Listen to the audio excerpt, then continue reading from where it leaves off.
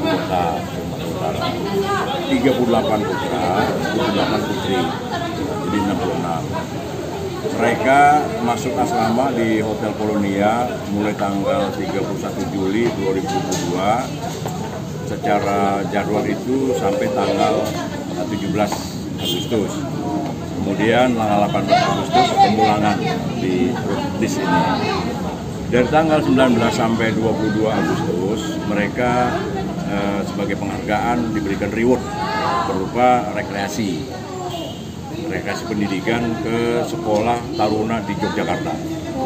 Ya, mereka di sana sudah kita koordinasikan dengan pihak Taruna Jogja dan akan diterima sesuai apa yang kita mintakan dalam surat kita ini.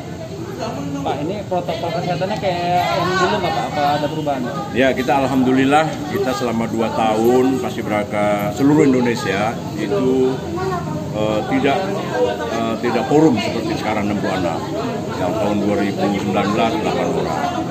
Tahun 2021 8 orang. Tahun 2000 sorry 2020 8 orang, 2021 16 orang. Tahun ini full 66 ya kita sudah mengetahui lah ya eh, pandemi ini sudah eh, boleh dikatakan tidak ada lagi tetapi tetap kita harus jaga kesehatan. Oh, mereka ini kan nanti disebutnya wadahnya purna. Eh, wadahnya purna pasti beraka Indonesia. Nah, tetapi kalau mereka ingin lanjut ke bidang apa ke studi, katakanlah kuliah seperti itu, yang saya perhatikan mereka ini rata-rata masuk negeri gitu, ya. Ya, mungkin karena memang latar belakang sudah pasti beraka, begitu juga untuk yang ketaruna. Karena mereka ini di Pasibraka semi militer seleksinya, rekrutmennya semi militer.